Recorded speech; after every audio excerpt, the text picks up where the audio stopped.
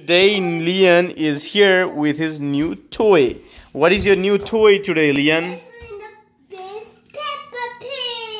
Leon got a Peppa Pig, Big mat, and some Peppa Pig and Joe's car.